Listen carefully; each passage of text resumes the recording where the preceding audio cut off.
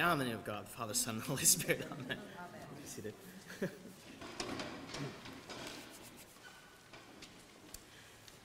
there is a field on the other side of your best efforts and your worst fears, a place where your diligent effort is in fact meaningless, a place of failure, a place of loss. It's a dry place dotted with despairing souls like Job, Elijah, Jesus in his 40 days. You'll find there the wandering, hungry ghosts, the insane, the alone, those who find it impossible to find hope. I'm talking, of course, about the land of the lost, a land familiar to most of us. We've either been there ourselves or we have been touched by the lives of those who have. It's a place of despair, of depression, of suicide. What does it taste like, that dry dirt of that desert land? Elijah gives us a hint. In his despair, fleeing from the authorities of the king, fleeing from his own death, he finds nothing but despair as he sits under that broom tree, perhaps hoping that death will sweep all his troubles away like so many brooms. But God has other plans for him. The question comes again and again what are you doing here? What are you doing here? There's a forest in Japan called Aokigahara, which is at the base of Mount Fuji.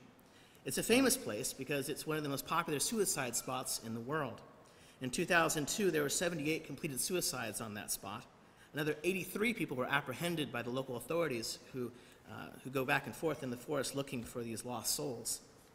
It's sometimes called the Sea of Trees because they're so dense, the trees, that it blocks out all the sound. It's a very, very quiet place. Japan has a suicide problem. That's perhaps not surprising given the culture that uh, so based on shame and, and honor and this idea that you can restore your honor by committing suicide is a gracious way out. It's actually not the highest suicide rate in the world. That honor belongs to Greenland, where 108 people out of 100,000 commit suicide every year.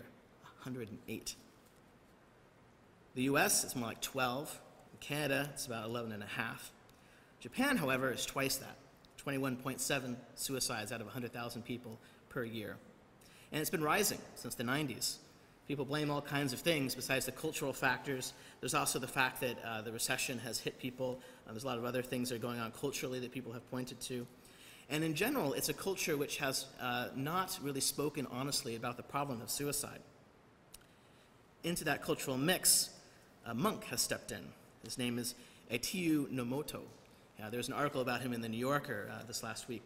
And uh, he's kind of a reluctant uh, spokesman for this issue. He kind of came about it because he was just a, a, temple priest doing his business, doing a lot of funerals and weddings and things like that.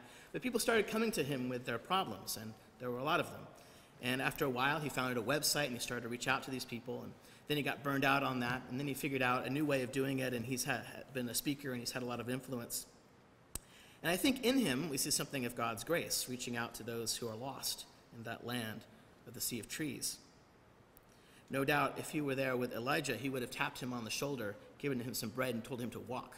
He is a Zen monk, after all, and he believes in hard work. So these days, in fact, uh, to get treatment from him, you have to go to his monastery, which is in a very rural place, and it's actually both expensive and difficult to get to. But he believes that's the only way that he can sort out the people that are actually willing to work on their issues and try to find healing. But I have good news for you. Jesus journeys into these regions which are beyond, these lands of the lost. In the story we have today, he travels across the lake through a nasty storm, which of course he silences in that famous scene, to the land of the Gerasenes, where they're tending pigs. This is Gentile territory. This is a dangerous place for Jesus to be, and he immediately disrupts everything about it, including bringing healing to a chronically ill man. It doesn't actually matter for us whether we want to insist that he had a, a, psychological ailment like schizophrenia or whether he was in fact possessed by demons. It really doesn't matter for the story, and Luke wouldn't have seen any difference at all.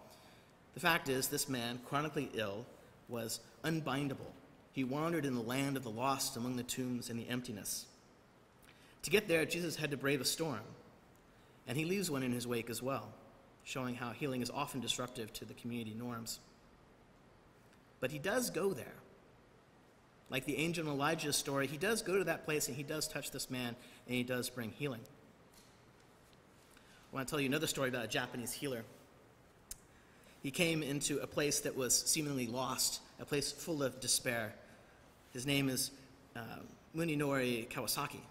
Uh, if you're a Blue Jays fan, you know that we started the season with great hopes. and those hopes became full of despair. And many fans, such as myself, wandered a lost land of, of despair.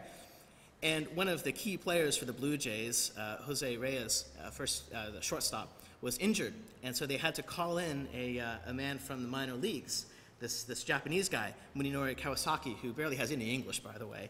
And he's not what you would think of as a great baseball player. He's not a particularly good batter. He's not a particularly good thrower. Uh, he can catch well. Everybody gives him that credit. But he's not a strong guy. He's not a, necessarily the kind of athlete we think of as leading our teams to victory. But since he joined the Blue Jays about two months ago, a remarkable thing has happened. They've turned it around. They've just won their last 10 straight games in a row. And a lot of it is because of something magical that this guy has brought to this team. And no one can really identify what it is. And they've struggled with words, some, you know, je ne sais quoi, or, or you know, he, he brings some sort of charisma or, or something. People say partly it's his uh, fearless joy. It's the way that he always congratulates everyone. He's always giving high fives, even to the position players who hadn't made a play in that inning. He'll still give them a, a high five and cheer them on. Most of the time, they can't understand what he's saying, but it's in fast Japanese, and he seems enthusiastic. So on Saturday, we were playing Baltimore. We were behind four to six, and it looked like that winning streak was in jeopardy. Kawasaki came to the plate, and people got excited because they really like this guy. He's really charming, nice guy. I mean, he's just the quintessential nice guy. So he gets up there, and something remarkable happened. He hit a home run, the first in his career as a Major League Baseball player. in fact, he's the oldest Blue Jays player in history ever to score their first home run. like I said, we were losing four to six. His critical uh, score brought in another uh, runner, so it tied the game, and then another player was able to score one, so we won against Baltimore seven to six. But that moment when he scored that home run, uh, I don't know if any of you watched that game, but the entire Rogers Centre went bananas. They went bananas. They cheered this guy. And after he ran the bases, he did his trademark bow to the crowd, and it was just, it was beautiful. I mean, people were clapping him on the back, people were crying. I mean, it was, it was crazy. I tell that story because there's something about what this man is doing when he goes to this land of the lost, which has a transformative impact. And it's not because his personal efforts were so extraordinary, but it is something about the quality of relationship that he brought to that team. And I think that quality of relationship is simply love. He loved his teammates, he loved them. And that had a healing impact on that entire team and changed the whole organizational culture to one of winning. And also, by the way, of joy. They look like they're having fun. Did Jesus have love for the demoniac? Of course he did. He went to this place, this dark place of tombs and caves and pigs, and he was able to bring healing with his love. He touched this man and he healed him. Interestingly, when this man wants to join Jesus and go with him on the boat, Jesus says, No, no, return to your community and tell the good news. That's very interesting because it says something about what we're to do, by the way, that we're somehow to stay in our communities and tell the good news.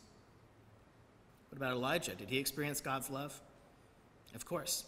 Though it probably felt more like the, the smack of the Zen teacher's uh, stick than it did like uh, the sort of loving hand and a loaf of bread. But yes, he experiences God loves too in the form of revelation and of wisdom. So, what are we to do with this? I think that we are to have good courage and to go to these lands of the lost, to have the courage to go to these places of darkness where people dwell, places where people feel depressed and suicidal or hurt or injured in any way. To go into those lands of the lost and touch people with a similar kind of joyful love that these people have shown us how to enact. Because there is a field on the other side of the lake, a field where our best and most diligent efforts will be meaningless. But God's love is not and it has a power to bring healing and restoration to all whom it touches. Amen. So, as we usually do, I'll open this up if anyone has any comments or